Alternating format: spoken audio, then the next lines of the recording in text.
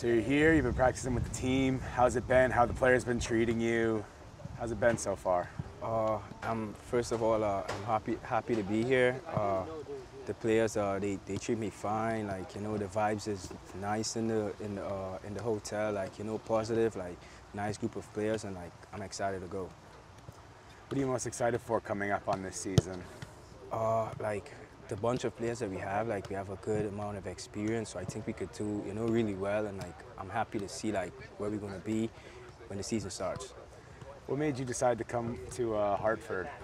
Uh, that's a hard one. Uh, Anything specific? Was it one of the coaches you were really interested? No, like Tab, Tab is a good guy and like he's an experienced guy and like, you know, I wanted to work with him, so I took the opportunity.